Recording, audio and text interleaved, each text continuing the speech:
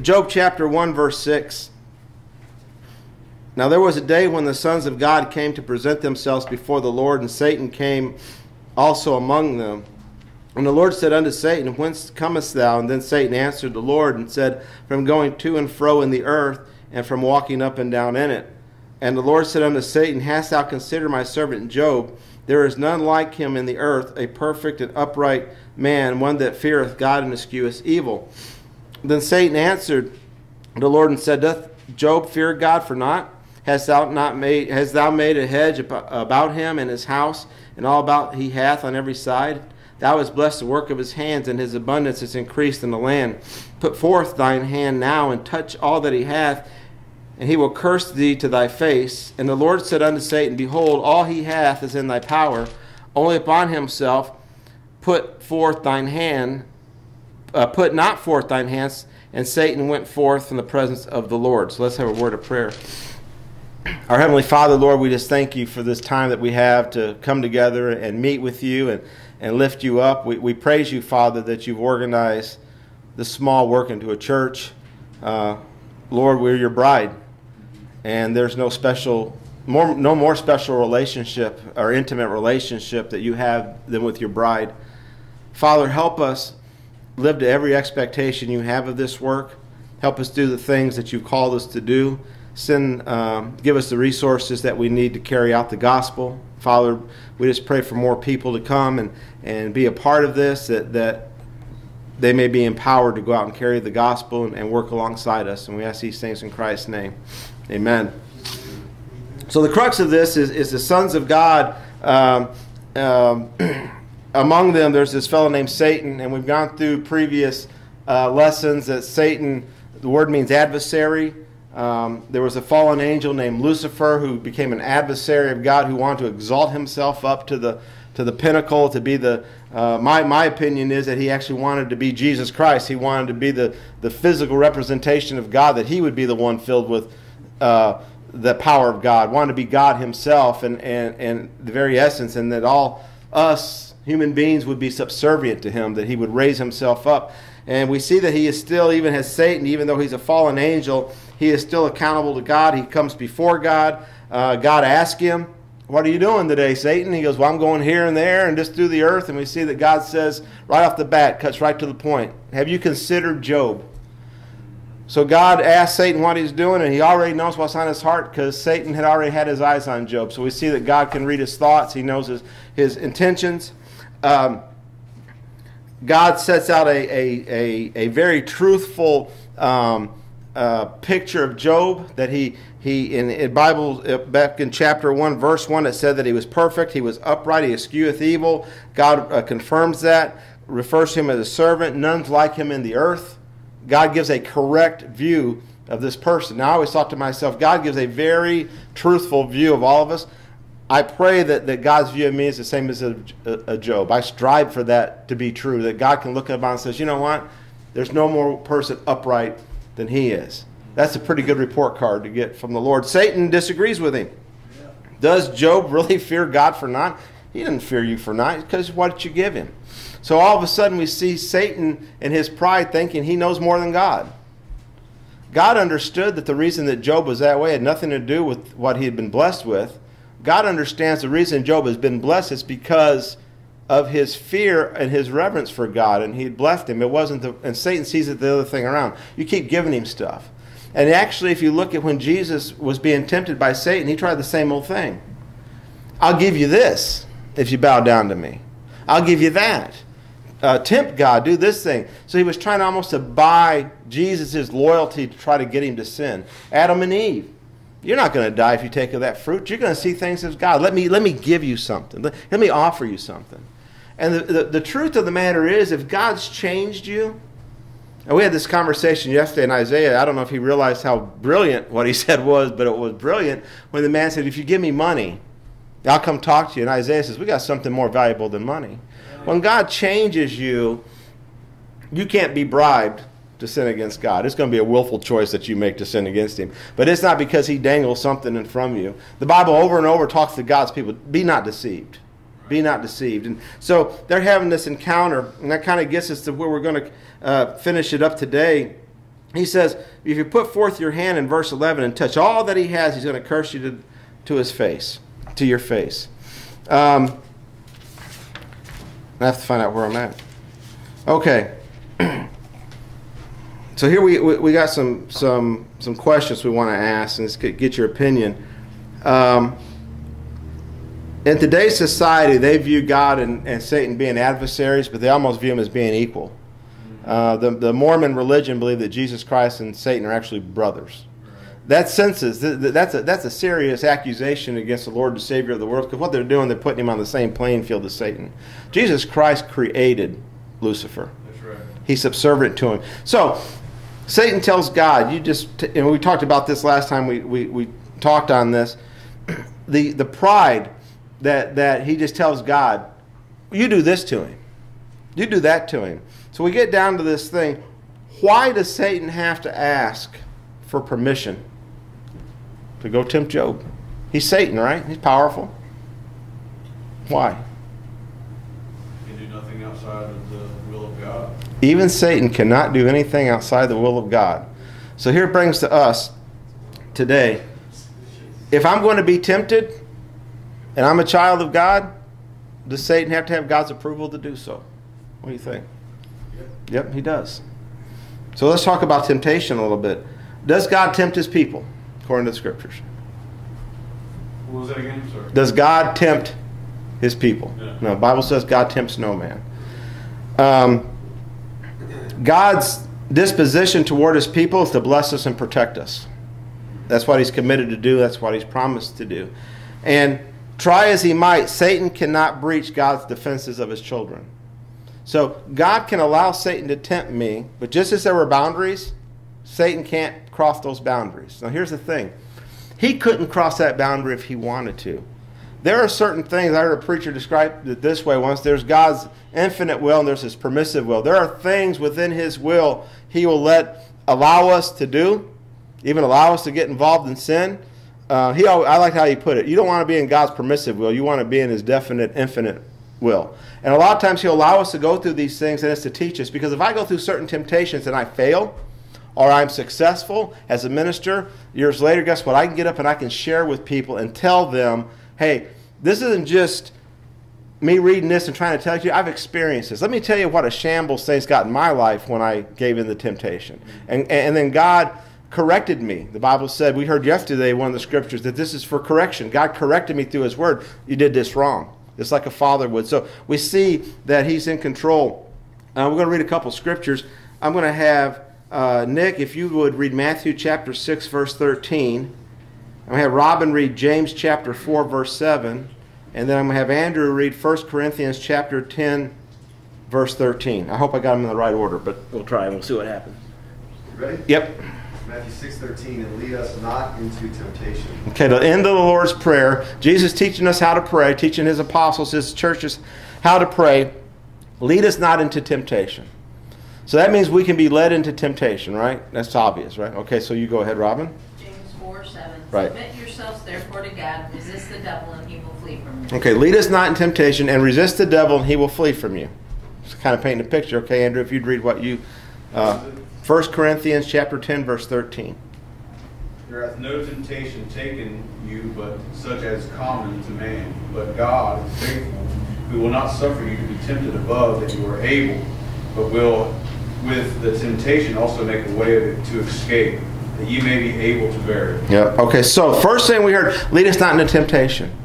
Resist the devil and he will flee from you. I've heard that resist a lot of times meaning, okay, got to run. That word resist is actually a battle. It, it, defines spiritual warfare. If you arm yourself with the armor of God, as, as, Ephesians describes, and you and you're ready to do battle, and you've got the Word of God, and you got the breastplate on, you got the helmet, man, you're ready to do battle, and you resist Him the way Jesus did uh, when He resisted for temptation with Scripture, being close to God through prayer. Uh, the be- devil's going to flee.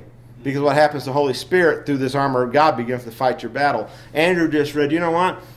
Whatever temptation, there's nothing, this is amazing. Nothing we're tempted with today, nothing new. There nothing new. So when we go out and we, have talked about the RU program and, and people that are addicted and drug and whatever, the same thing that Satan has tempted that person to get involved in that drug, you know what? He's tempted, and maybe it wasn't drugs. But he's using the same vices and stuff with his brother Andrew, myself, whether it's Robin, whether it's Nick or, or James or Jerry. You know what? He's used the same devices to tempt every one of us to get us to draw away from God. Nothing new. Here's what's really messed up. Gee, let's organize a New Testament church so people come together. Now they have the Holy Spirit of God. And as we all strive to get closer to Christ, we strive to get closer together. And now we're like a small little army. Now we're not alone. Not only we have God, we have each other. You know what? And we don't sit there and judge because, oh, well, you were tempted to do that and you gave into it. Honest, I was tempted to do some of the same things. You know, sometimes you, here's, here's a shocker as a preacher before you. Hey, sometimes I gave into those temptations and I got stung. It's like the, the drug addict out here got stung. So when somebody tells me their story, it's not going to, sh- I've told people over and over, there's nothing anybody's going to tell me that's going to shock me about a human being, what they'll do. Because you know what? I'm capable of doing the same things if I don't listen and follow. So we see that Satan has his boundary and God for his people, and it's spelled out so well in the New Testament. Hey, Job, pray that you're not led into temptation. Hey, Job, you resist the devil and he'll flee from you. Oh, by the way, Job, I'm not going to allow you to go any, through anything that you can't bear. Because you know what? I have the ability to allow Satan to tempt you, but I'm also going to set boundaries up that he can't exceed those. Now, do you think Satan if he could, would jump and, and, jump over those boundaries and do whatever he could? Oh, he can't, though. That's the beauty of it. You know why? Because he's subservient to God. He answers to God. Um, and he always will. God gives, in verse 12, it says, And the Lord said unto Satan, Behold, all that he has is in thy power. There's the boundary. Everything he's got, all his possessions are in your power. You can do with them whatever you want. They're all in your power. And here's the boundary. Only Upon himself put not forth thine hand, so Satan went forth from the presence of the Lord. God gives Satan permission to go ahead and test Job in the way that Satan desires with no restriction. You can do whatever you want with his possessions. But Satan's not allowed to touch Job's person to the fact to cause him death in any way. Can't do it. However, everything else that Job has, God's placed it in Satan's hands. So how does God remain holy and blameless by doing that? Does that seem like a bad thing? How would is God still holy and blameless even though He allows Satan to do certain things? Mm-hmm. Okay.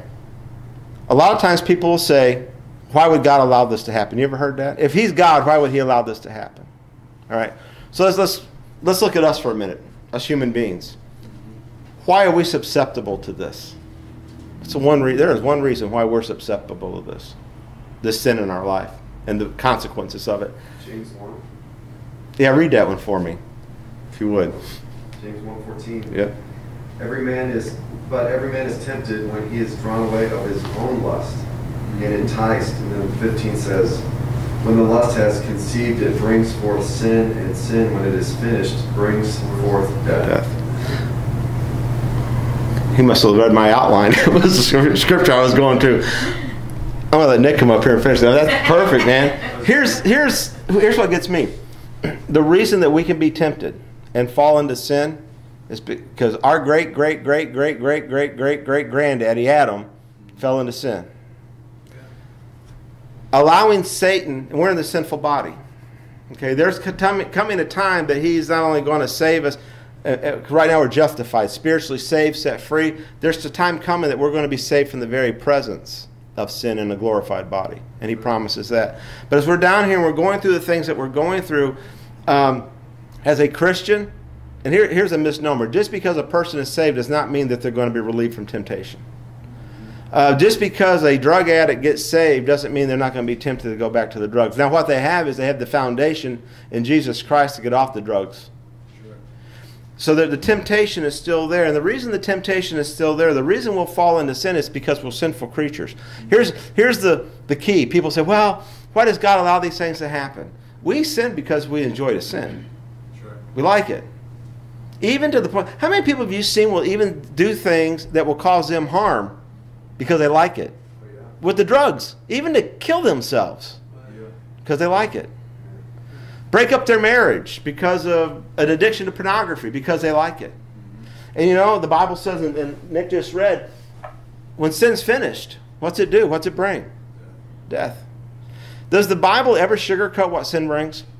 It brings death. Now, here's the thing God was so in tuned with Job because of Job's heart. And this is like, a, here's a challenge for all of us that our hearts will be so in tune to God that He can look upon our hearts and say, I don't care what you do to Him physically, what you take away from Him or take away from her, you know what? They're going to remain faithful to me.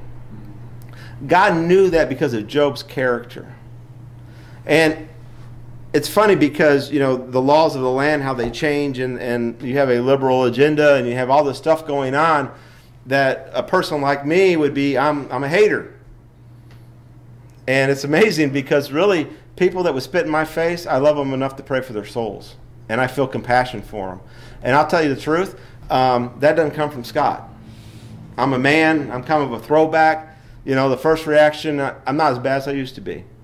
But there's a, there's a reaction there of, of, bad things physically you would like to do to that person. But as God starts to change you, it starts to change, you know what? Man, I feel for that person. I'm going to pray for that person. It hurts to see that person in that condition because you know what? It's because they hate God. They hate somebody that sacrificed everything.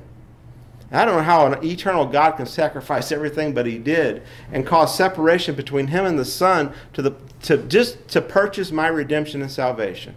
Nothing to gain for Himself because He's perfect. He doesn't have anything to. If I die and go to heaven or die and go to hell, it doesn't make God any bigger or any less because He just is. That was all done for my behalf. And you share that with somebody, and the hatred that comes back toward that message. You're a hater. Yeah. Well, I love you, but okay, you're a hater. Because you don't want You preach against my sin. That's the issue. This thing I like so much, you, you preach against that. Yep. And why, we, why do we preach against that? Because we don't want, we know that it's going to bring death. Mm-hmm. And we know that if somebody dies without Christ, that it's over for them. They're done. They're out of existence to God, and they're suffering pain in hell and eternal lake of fire. And that's the truth of the Bible. He, he lives everything to Satan's hand. Satan could have chosen actually to leave Job alone if he wanted to. Well, you know what? This is a man of God. I'm going to leave him alone. Guess what? He didn't do that. He's got so much pride. If I can't have him, I'll destroy him. And if I and God's not going to allow me to kill him, but what I'm going to do, I'm going to make his life miserable, and I'm going to destroy his testimony, and I'll destroy his relationship with God. And I really believe Satan's mindset is like that. I believe he thinks he can destroy the church, even though Jesus Christ said the gates of hell cannot prevail against it. There's a boundary for Satan. You can't, you can't destroy my church. And I believe he thinks that he can. What's funny about this, he thinks he knows more than God. How many people do you run across that think they know more than God? How you talk about the pride the pride of man comes it's no different than this pride that led to the fall of Satan, and pride always leads to a fall. But how many people in our government in our society, in business, even some ministers in our churches think they know better than God. Right, that's true. And you know what happens? Whether it be tomorrow, today, next year, 30 years from now, one of these days I'm going to die. And God's work is going to go right on. Going on, and He's going to use people that He chooses to bless to carry out His gospel.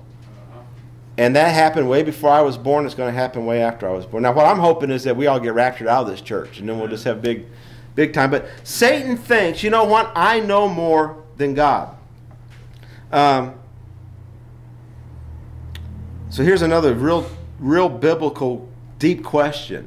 In this scenario between God and Satan, in this discussion, everything we discuss, who ultimately gets proved wrong? Satan. When has Satan ever been proved to be right in the history of creation? Ever.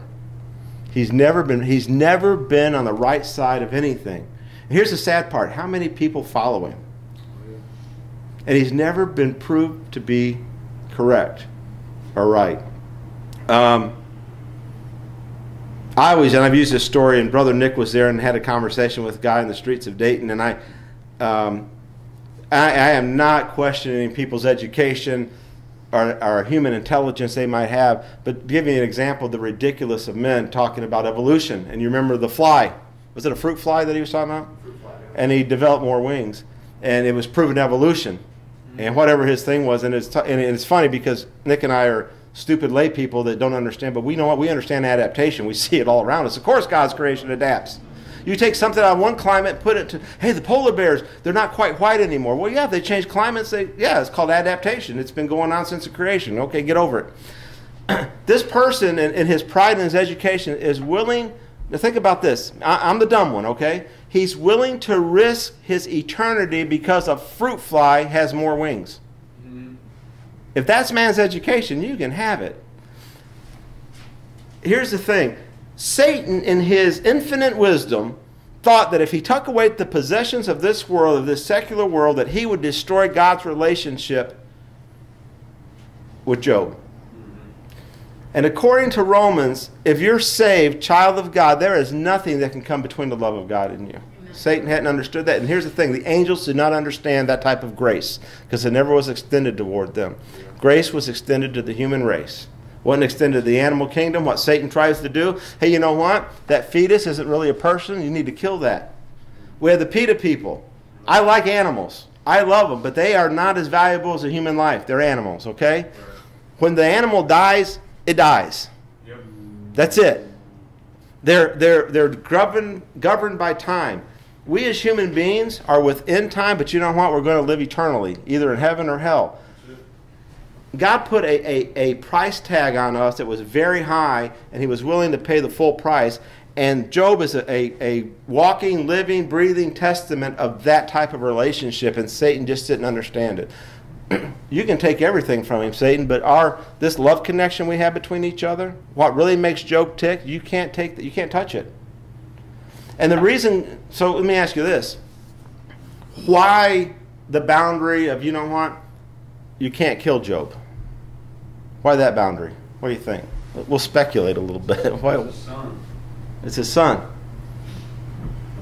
Is it Satan's position to take life? No, no. Can't do anything. Can't do anything without God's permission. Plus, I think God wanted to bless Job. Yeah, that's a good point. After this was all over Yeah. and Job remained faithful, God wanted to bless him and wanted to bless him for his, his, his obedience. And, and it was funny. If you read the story and you go through, you remember Job did get, like a human would, little Phil's, why am I, oh, woe is me? Got, got that? And I love this when God says, gird up your loins. When the Lord tells you, gird up your loins because you and I are going to have a talk, uh, hold on tight. And he asked Job, remember, where were you when I gave the lion its roar and I brought lightning and I brought the thunder from the sky? Where were you, Job? And Job's like, okay, yeah, I know my Redeemer liveth. Okay, I'm good. Right. And, and what's so cool about that, even in that conversation, you see the love of God. Sit down, Junior. I'm your father. Well, you and I are going to have a talk. Um, so, and, and my dad gave me stories too, you know, to get, you know, he was one of the generation that walked uphill in the snow both ways, three miles to school, you know. God's story is a little bit more in depth than that. His story is actually true. I don't think my dad ever walked three miles anywhere, maybe, but anyway. Um, ultimately gets proved wrong, and actually that's ultimately his eternal case. If you go to Revelation chapter 20, verse 10, here's another promise. God made a promise to Satan in Job. He said, uh, He won't curse me. Have you considered myself, my servant Job? And you can take anything you want. You can do whatever you want to him. You can't harm him. Can't take his life. Job, okay, Satan goes and I'm going to show you, Lord. I'll show you. And we find out that Job remains faithful and true to his God. Revelation chapter 20, verse 10. Here's another promise. And the devil that deceived them was cast into the lake of fire and brimstone, where the beast and the false prophet are, and shall be tormented day and night forever and ever. God makes another promise. Amen. Satan, the clock's ticking. And the clock's ticking, and I am I am taking account everything you do and everyone you deceive. And I used to have a pastor, and he used to call it the devil and his crowd. I like that term. The devil's crowd. You want to be part of the devil's crowd, he would say. So the devil and his crowd, God's saying, look, the clock's ticking. And I'm taking into account, I don't miss anything. This, you know, that seven eyes of the Spirit, I see everything. And every every minute, bit of deceit, everything you've done to undermine my plan, everything you've done to attack my people, even going back and everything you did to Job, you're going to pay for that, and I'm going to cast you in a lake of fire for eternity. God promises it. Just like he said, you know what? Job's not going to curse me. I know his heart. Mm-hmm. And by the way, Satan, here's your plan. Wasn't that good news for him? Satan assumes that men are just like him. Here's the good news. You know what? We aren't. We can be reached. This is why, you know, we were talking about going. Here's what's important. Here, here's what here's what's important, and here's why I'm not a hard shell. Men can be reached. I don't know the heart of man, but God does. And here's the, here's the kicker I have met people that I thought that's an impossible case, and God saves them. Didn't see that coming. Um, people are not like Satan. There, if you're living and breathing in this world and the Holy Spirit's working on you, there is hope for you. Satan's going to paint this picture. There's no hope. You know what? If you're living and breathing, there's hope for you. If God pours His Spirit out and He sends His people, and God will send His people to those He's trying to harvest. He's going to do that. Um, Satan thinks that every human being is going to strive for success and shun suffering. The Bible are full of men that did not do that. Uh, we have we have apostles in the Bible. Every one of them that were actually saved, accounting for Judas, died a martyr, except for one, which was John, and he was put in prison. Every one of those men shunned success for suffering. The, the trail of blood from our New Testament church, going all the way back to the apostles, is full of the story of men and women that were devout to God that would rather suffer for His cause than gain the, the riches of the world. People are not like Satan. There's hope. There's hope. Satan's words reveal that his belief that only men serve God because of their fleshly interests. And here's the key Satan does not understand the spiritual connection between man and God because the relationship between this church and God, and we talked about even the church being a, a, a government physical entity that really is not, it's a spiritual entity. Jesus Christ was so emphatic about it's not about the things that you take from out and take in, it's the things from your heart that go outward. It's the change of the inward man that matters. And Satan doesn't understand that in the humanity, we were created in the image and likeness of God. That means we're a trinity. There's an understanding when, when God touches a man and he saves that soul and that conversion happens, and all of a sudden they're connected spirit to spirit and that communication starts going on. You know what? The world, I'll go back to the devil and his crowd, they don't understand that connection. Only a born again Christian understands. And here's the really key I've been a born again Christian, I'm not sure I understand it. But boy, do I enjoy it because you know what? God speaks to me spirit to spirit. He, he touches my heart. He yesterday, when we went off and we did a, we were going to go door knocking, and Isaiah made the comment, "Hey, we're not catching anybody at home. There's tons of people on the street. Let's go down and just hit them on the street." That was a divine appointment. We met three people that, that allowed us to pray with them in the street. So that's a divine appointment that God says, "Okay, I'm going to lead you here." As a Christian, that stuff happens all the time. And, and Satan doesn't understand that. Satan assumes that, you know what, we're just like he is. Everything's about what we can get our grubby little hands on. And if you understand and you start getting in, involved in the Word of God and letting the Spirit, you find out that the things of the world, regardless of how shiny they are, they're temporal. You don't really, you know, they're great to have. They're great, and God will bless you with temporal things, and that's nice, and there's nothing wrong with that. But you know what? That, that prayer time that you got when you're alone with God, there's nothing more valuable than that. I've never bought a new car what do I like? Tools. I buy tools I don't need because they're shiny and they and they vroom, they make cool sounds. But you know what? Not a one of those things has ever brought me to my knees in my garage and brought tears to my eyes and things like that because God's speaking to me. And He's taking, Scott, I want you to, you know, it's the coolest. I want you to preach this. I want you to teach this. And then you're just, you're just wrapped up in it. And you know what? You can't put a price tag on that. Satan doesn't understand that. Satan can't begin to imagine anyone worshiping God just because of who he is. He can't imagine that. Rather than for what he gives. You worship God because of what he gives. And, and this church, it's an enigma to Satan. So he don't understand what's he want to, I'm going to destroy it. So what he's, what's he going to do? Here, here's, here's the next year. He's going to try to get in with the members and create division. He's going to try that. You know what? We had an open discussion today right here in Sunday school, brother. We need to have those open discussions because here's what happens. We don't talk. This is what Brother Andrew's thinking. But we never ask him. Pretty soon, if we start talking these things out and we're in prayer, you know what we just did? We've allowed Satan not to get in and start division. I can't have this church. I can't conquer. But you know what? I can. I'm going to. I'm going to destroy it. I'm going to cause division. Um, our minds, and I understand about being on the. Uh, and I am a big uh, per, I'm going to propose prayer every time we get a chance as a church that we come and pray together. And I'm with Brother Andrew, though. We're put here to get out in the community and reach people for the gospel's sake. Uh, he never, it's funny in, in the story of, of Moses, when they get to the Red Sea, they come to the Red Sea, and Moses, remember the story? Lord, what do we do? Pharaoh's coming. If you read that story, do you see anywhere God ever told them to stop walking? They come to the water, did he tell them to stop? He says, Why do you cry to me? Get that rod, pick it up, part the sea. That's what he's telling. He, he has not told the New Testament church to stop. Regardless if we come to the Red Sea or whatever we come to, you keep going. You trust me about how to get across that sea. My, here's my charge. You keep going. And we trust a God that can part the sea and allow us to walk on water. That's the God that we trust. So these obstacles that come up, um, you just keep going. And Satan doesn't understand that. He thinks men must be bribed to worship and serve God. And here's the thing God didn't accept that. He thinks you have to be bribed to be, and he tried that with, remember what he told Jesus? I'll give you all the kingdoms of the world. I'll give you an easy way out. You don't got to go die for these people. You just, you just bow down and worship me. I'll, give, I'll bribe you. Here's the beautiful thing about a relationship with God. Here's the beautiful thing about being part of this church.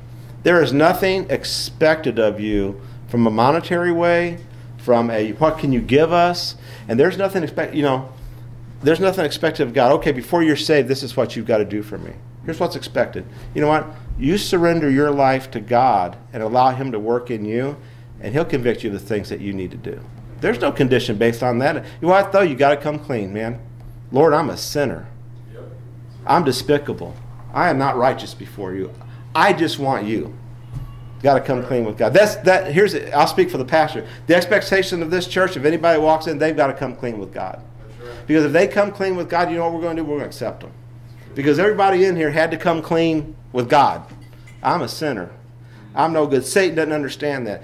Um, it's funny when I eight years old, and, and since that, and even when I was called to preach at 18, God did not have to bribe me to do that. Here, Scott, I'm going to reward you because you're such a good minister, and at a boy. You know what? Here's what he did. He convicted me. I, my I, it was almost the same way when I was convicted to be saved. He convicted me to preach because there was people out there that didn't understand the gospel, and I cannot imagine me talking to someone that would die and go to hell.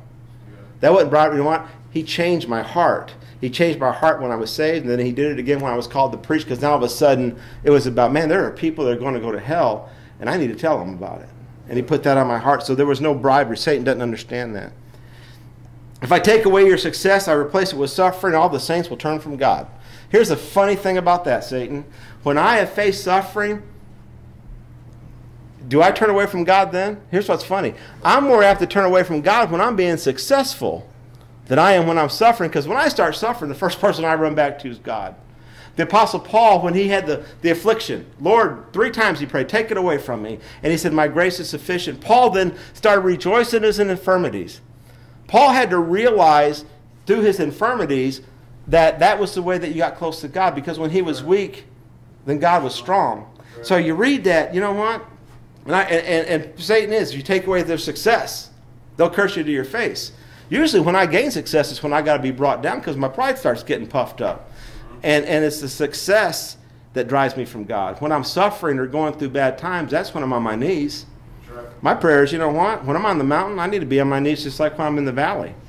Because that valley's coming. Satan, here's the other one. He never learns. He's been at this for a long time, thousands of years.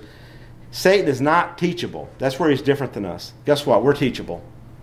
If we're surrendered to the Holy Spirit, we talked about, I was talking with Isaiah yesterday. He does a lot of studying. He puts me to shame. That kid studies Latin, he studies words I don't understand or whatever.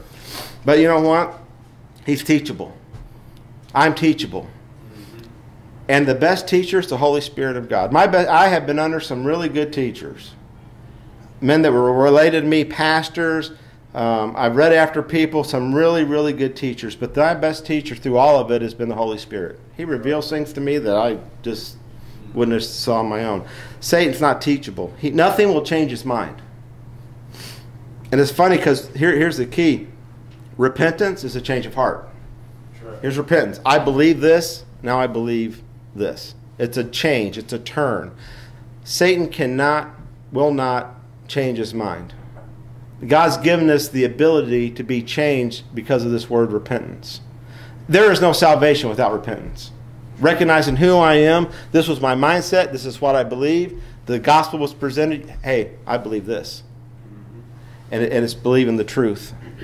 Um, I agree with, with some of the, some of the stuff we had heard yesterday, uh, and I agree with whether it be programs, whatever. Those aren't the things that change men. Those are tools that you can use. Right. Holy Spirit's going to change men. Right. I don't think anybody here believes any different. That we know we can't change anybody. So, on, on and the last point, we know he doesn't learn and change. Here's the thing. In everything, in God's will and His purpose, do you know what Satan is actually doing? What's he doing? Advancing it. He's advancing God's purpose. Nick is on the ball today, man. I tell you. I got a copy of your notes. Do you? Unwittingly, Satan serves God's purpose. You think about what he did. Going all the way back, uh, what did Satan set out to do to Moses when he was a baby? What happened to Moses? Where did he get raised? Pharaoh's house. The guy was trying to kill him. What did God want to do in 1940s with the Hebrew nation? Want to destroy them through Adolf Hitler. What did he do? Those Hebrews all started migrating back to Israel, the geographical place of where Jesus Christ Himself uh, was going to set up His kingdom. What did Jerusalem? What did the Israelites do in the 60s uh, in the Seven Day War? They took Jerusalem back. Guess what? Exactly where God said that nation was going to be when Christ came back. Satan does a great job of unwittingly serving God's purpose. Yeah. And here's the thing: God used him as a. It it it has to be laughable to God. I'm using you and your people to bring about my Antichrist. What's you know we everybody freaks out about Antichrist. Antichrist, okay, is he an enemy of the church? Yeah, but we're going to prevail. What's Antichrist going to do? He's going to be the last Antichrist that's going to usher in the uh, the uh, millennial age after the tribulation because Christ is going to come back. He's the last entity of the last Antichrist. That's good. There's been many of Antichrist, but this one's going to raise up, and guess where he's going to be? Jerusalem, in the temple. That temple, and guess what? The Hebrew they're going to be sacrificing, just like the Bible says. Thanks, thanks, Satan. Thank you. You're, you're serving God's pur- purpose. Satan's efforts to produce the opposite of what um, he hoped to achieve by inflicting Job and th- with the suffering and his rebellion towards God and being an adversary to Job. Um, basically, what he did is he deepened Job's faith and brought greater blessings to Job. It's exactly what he did. When Satan got to the pinnacle of what he was doing to Job, all he did was make more Job, Job more faithful to his God. So, going back to the question, why does God allow temptation? Because guess what? When temptation brings hardship on me, what's God going to do? I'm going to draw closer to my God because I know that's where my refuge is. Because you ever get to this point in your suffering? I know that I'm suffering. I'm not going through it, but as long as I got Jesus, right. I don't need anything else. Right. And you know what? I think sometimes we go through temptation because we need to be reminded of that. Um, we got worries. Man, I worry about this. Got to pay this bill. Got to do this. Got to get up tomorrow. I got my agenda. Robin's got che- Robin's got checklists for everything. You know, she does. She's just a nodding but she does. She got check. We got to fix the list. Got to do this and got to do that. And it all. You know what? When you step back and you just breathe, you know all I really need is Jesus. Right. He's going to make it all come together Uh-huh. and he compels her to write lists for I make sure I get things done that I'm supposed to. Praise God for the list, right?